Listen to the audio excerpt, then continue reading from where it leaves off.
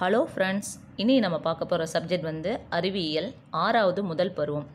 ஏற்கனவே ரெண்டு இயல் வந்து நான் வீடியோஸாக கொடுத்துருக்கேன். இது மூணாவது பாடம் நம்மை சுற்றியுள்ள பருப்பொருட்கள். இப்போ தான் என் சேனல் ஃபஸ்ட் டைம் பார்க்குறீங்க அப்படின்னா சப்ஸ்கிரைப் பண்ணிக்கிங்க. பக்கத்தில் இருக்கிற பெல் பட்டனில் ஆல் கிளிக் பண்ணிக்கிங்க. அப்போ தான் நான் போடுற நோட்ஸ் வந்து உங்களுக்கு உடனே வந்து சேரும். லைக் பண்ணுங்கள் ஃப்ரெண்ட்ஸ் கமெண்ட் பண்ணுங்கள் பிடிச்சிருந்தா உங்கள் ஃப்ரெண்ட்ஸுங்க எல்லாருக்குமே இந்த நோட்ஸை வந்து ஷேர் பண்ணுங்கள் வாங்க பாடத்துக்குள்ளே போகலாம் பருப்பொருள் அப்படிங்கிறது நம்ம சுற்றி இருக்கிற எல்லா இடத்துலையுமே இருக்குது நம்ம சுவாசிக்கிற காற்று கூட என்னது? ஒரு பருப்பொருள் தான். அந்த பருப்பொருள் எதனால் ஆனது அப்படின்னு கேட்குறாங்க அப்போது பருப்பொருள் அணுக்களால் ஆனது. பருப்பொருள் டேஷால் ஆனது அணுக்களால் ஆனது. திண்மம் திரவம் மற்றும் வாயு நிலைகளை தவிர்த்து மேலும் இரண்டு நிலைகள் உள்ளன. அவை பிளாஸ்மா மற்றும் போன்ஸ் ஐன்ஸ்டீன் சுருக்கம் ஆகும் அப்படின்னு சொல்கிறாங்க அடுத்தது பூமியில் உள்ள பருப்பொருளின் பொதுவான நிலை அல்ல. அதுதான் பிளாஸ்மா நிலை. பிளாஸ்மா நிலைனா என்னது? பூமியில் உள்ள பருப்பொருளின் பொதுவான நிலை அல்ல. அண்டத்தில் கூடுதலாக காணப்படும் ஒரு பொதுவான நிலை தான் பிளாஸ்மா நிலை. பூமியில் காணப்படுறது கிடையாது. அண்டத்தில் காணப்படுறது தான் பிளாஸ்மா நிலை. கடுங்குளிர் முறையில் எந்திரங்கள் பயன்படுவது போன்ஸ் போஸ் ஐன்ஸ்டீன். கடுங்குளிர் முறையில் எந்திரங்களில் பயன்படுவது எந்த முறை பயன்படுது? போஸ் ஐன்ஸ்டீனோட முறை தான் வந்து கடுங்குளிர் எந்திரங்களில் பயன்படுத்துகிறாங்க நிறையுள்ள மற்றும் இடத்தை அடைத்துக் கொள்பவை பருப்பொருள்கள் ஆகும். பருப்பொருள் பற்றிய ஒத்த கருத்துக்குரியவர் யாருன்னா? Canada Democritus. Canada Democritus. இந்த கனடா அப்படிங்கிறவர் வந்து இந்தியாவோட தத்துவமேதை டெமோக்ரட்டிஸ் அப்படிங்கிறவங்க கிரேக்க தத்துவமேதை அப்படிங்கிறது நம்ம எல்லாருக்குமே தெரியும். அடுத்தது எல்லா பருப்பொருள்களும் மிகச்சிறிய துகள்களால் ஆனவை எல்லா பருப்பொருள்களும் மிகச்சிறிய டேஷால் ஆனவை துகள்களால் ஆனவை மிகச்சிறிய துகள்களே அணுக்கள் அல்லது மூலக்கூறுகள் என அழைக்கப்படுகிறது. சின்ன துகளை எப்படி சொல்கிறாங்க அணுக்கள் அல்லனா மூலக்கூறுகள் அப்படின்ட்டு அழைக்கப்படுது அப்படின்னு சொல்கிறாங்க ஒரு துளி நீரில் ஒரு துளி நீரில் ஏறக்குறைய பத்தின் அடுக்கு இருபத்தி ஒரு நீர்த்துகள்கள் அடங்கியிருக்கு. ஒரு துளி நீரில் எவ்வளோ நீர்த்துகள்கள் இருக்காம்? பத்தின் அடுக்கு இருபத்தி ஒரு நீர்த்துகள்கள் வந்து அடங்கியிருக்கு. அப்போது பேனாவில் வைக்கும் ஒரு புள்ளியில் புள்ளியில் ரெண்டு லட்சத்திற்கும் அதிகமான மூலக்கூறுகள் இருக்குதுன்னு சொல்கிறாங்க நம்ம பேனாவில் ஒரு புள்ளி வைக்கிறோம். அந்த புள்ளியில் வந்து ரெண்டு லட்சத்துக்கும் மேலான வந்து மூலக்கூறுகள் இருக்குது அப்படின்ட்டு சொல்கிறாங்க பருப்பொருளின் துகள்களுக்கு இடையே புவி ஈர்ப்பு விசை உள்ளது. பருப்பொருளின் துகள்களுக்கு இடையே என்ன விசை இருக்குது ஈர்ப்பு விசை உள்ளது. திண்மம் மற்றும் திரவங்களை ஒப்பிடும் பொழுது அதிக அழுத்தத்திற்கு உட்படுவது எது? வாயு. திண்மம் மற்றும் திரவங்களை ஒப்பிடும் பொழுது அதிக அழுத்தத்திற்கு உட்படுவது எதுனா வாயு.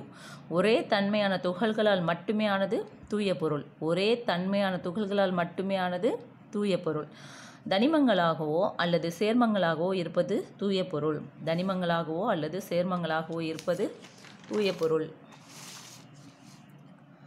சிறிய துகள்களான அணுக்களால் ஆனது தனிமம் எனப்படும். சின்ன துகள்களால் ஆன அணுக்கள் தான் வந்து தனிமம்னு சொல்கிறாங்க ஒரு மூலக்கூறு என்பது இரண்டு அல்லது அதற்கு மேற்பட்ட அணுக்களின் சேர்க்கையாகும். மூலக்கூறுனா என்னது? இரண்டு அல்லது அதற்கு மேற்பட்ட அணுக்களின் சேர்க்கையாகும். இரண்டு அல்லது அதற்கு மேற்பட்ட தனிமங்கள் இணையும் வேதியியல் சேர்க்கைக்கு சேர்மம் என்று பெயர். என்ன? இரண்டு அல்லது அதற்கு மேற்பட்ட தனிமம் சேர்ந்துச்சுன்னா அது வந்து சேர்மம். ஒன்றுக்கு மேற்பட்ட ஒரே தன்மையான துகள்களை கொண்ட தூய்மையற்ற பொருள் தான் கலவை.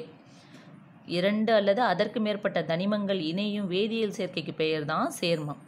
ஒன்றுக்கு மேற்பட்ட ஒரே தன்மையான துகள்களை கொண்ட தூய்மையற்ற பொருள் தான் கலவைன்னு சொல்கிறாங்க அப்போ கலவைனா என்னது? தூய்மையற்ற பொருள் தான் என்னது கலவை.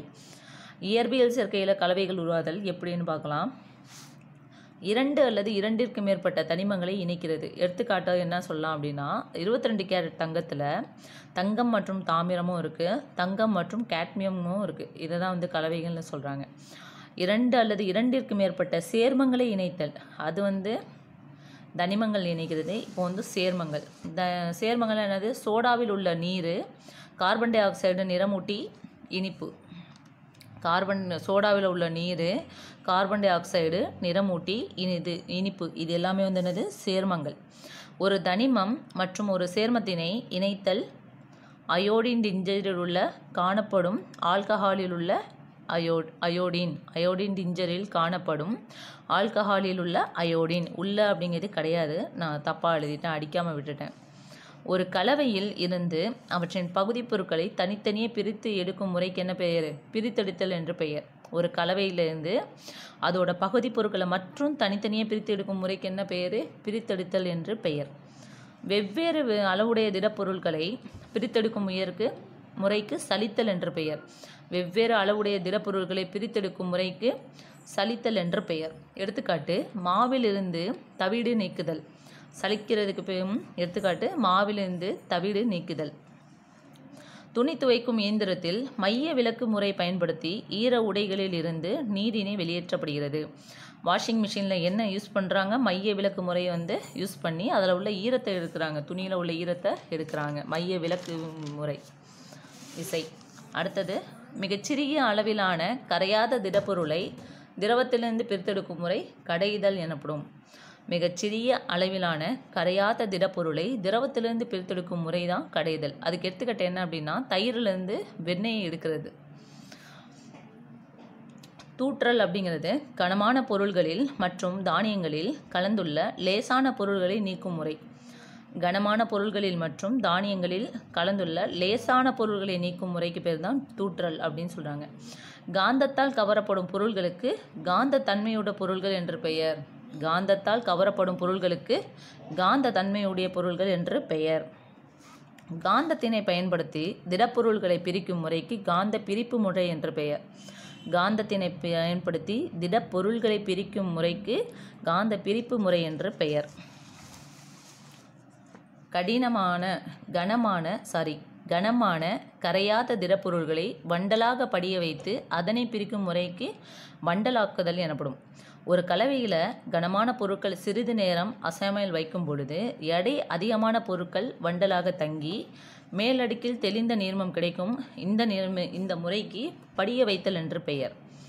கரையாத மிக நுண்ணிய திடப்பொருட்களை அதன் நீர்மத்திலிருந்து வ வடித்தாளை பயன்படுத்தி பிரித்தெடுக்கும் முறை வடிகட்டுதல் அப்படிங்கிறாங்க. கரையாத மிக நுண்ணிய திடப்பொருட்களை அதன் நீர்மத்திலிருந்து இருந்து வடித்தாலை பயன்படுத்தி பிரித்தெடுக்கும் முறை வந்து வடிகட்டுதல் அப்படின்னு சொல்கிறாங்க ஒளி என்பது பருப்பொருளால் ஆனது அல்ல. தூற்றுதல் என்ற செயலை நிகழ்த்த காற்று அவசியம் தேவைப்படுகிறது.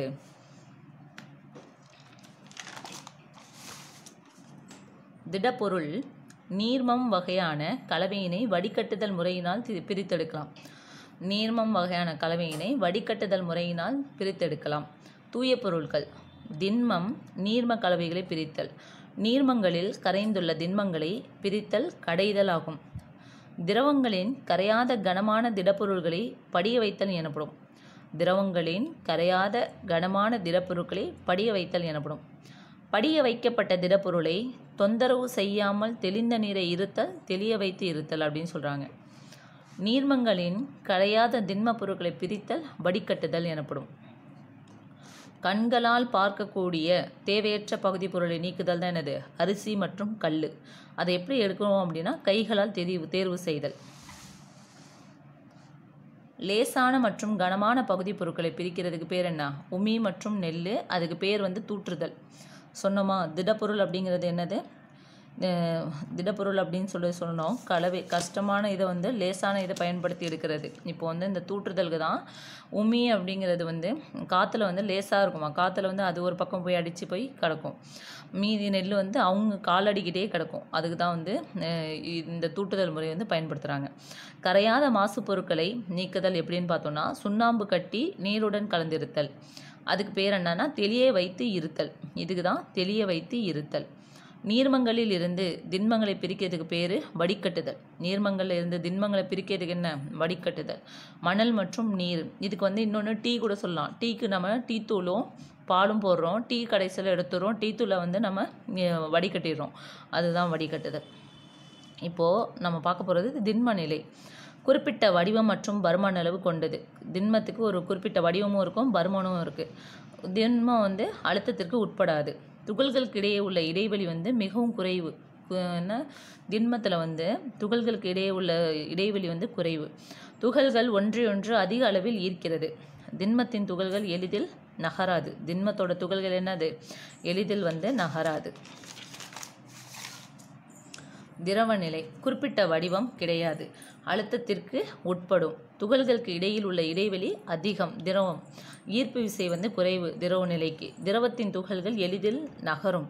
அடுத்தது நம்ம பார்க்க போகிறது வாயு நிலை குறிப்பிட்ட வடிவமோ பருமனோ கிடையாது. அதிக அளவு அழுத்தத்திற்கு உட்படும்.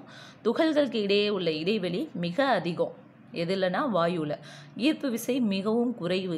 ஈர்ப்பு விசை மிகவும் குறைவு எதில்? வாயுவில் வாயுவின் துகள்கள் தொடர்ந்து அங்கும் இங்கும் இயங்கும். வாயுவின் துகள்கள் தொடர்ந்து அங்கும் இங்கும் இயங்கும். லைக் பண்ணுங்கள் ஃப்ரெண்ட்ஸ் கமெண்ட் பண்ணுங்கள் பிடிச்சிருந்தா உங்கள் ஃப்ரெண்ட்ஸ் எல்லாருக்குமே ஷேர் பண்ணுங்கள் அடுத்த லெசனை நான் அடுத்த வீடியோவில் கொடுக்குறேன். தேங்க்யூ